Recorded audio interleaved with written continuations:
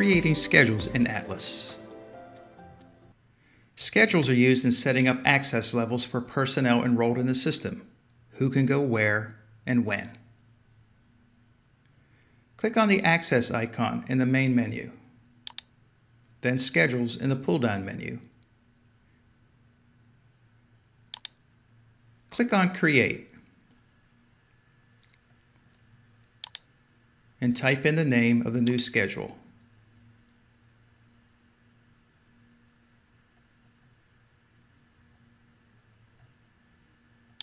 Click on the add and enter the start and end times for the new schedule.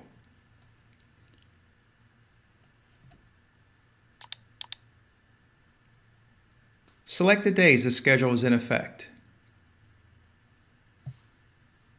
You can manually select each day or use the hotpick buttons if they apply.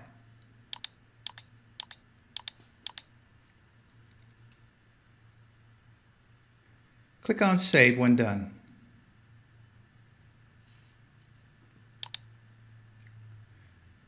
Click on Create above and let's create a weekend shift.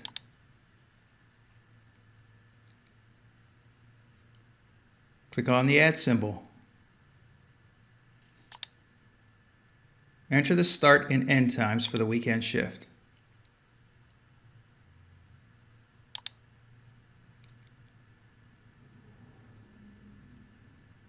Select weekend days.